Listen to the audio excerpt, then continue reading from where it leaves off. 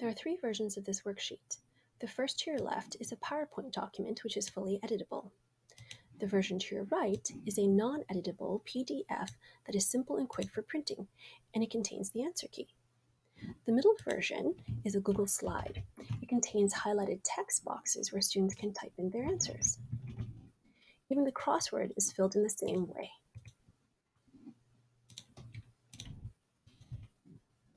This version is perfect for a paperless classroom and for distance learning.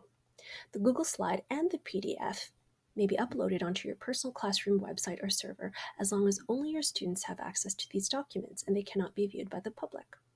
The beauty of this resource is its simplicity. It's only one page, but is jam packed with three different tasks which help your students review the material in different ways. There's a fill in the blanks task, there's a diagrams task, and there's a crosswords task. All three tasks can be assigned as classwork or homework, or they can be broken up into individual tasks to be used in various ways. This is a very versatile resource for distance learning, test prep, sub plans, early finishers, in school suspensions, or one task exit tickets.